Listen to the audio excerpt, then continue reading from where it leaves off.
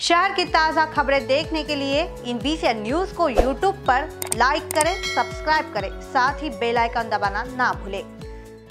बेला स्थित पूर्ति कंपनी में दोपहर को बॉयलर ब्लास्ट हुआ। इस हादसे में पाँच लोगों की मौत हुई है। प्राप्त जानकारी के अनुसार पूर्ति कंपनी में वेल्डिंग का काम चल रहा था। शनिवार को काम करते हुए अचानक बॉयलर का ब्लास्ट हुआ। इस भीषण हादसे में एक वेल्डर सचिन वाघमारे सहित मंगेश करवकर, प्रफुल्ल मून और लीलाधर शेंडे की मौत हुई है।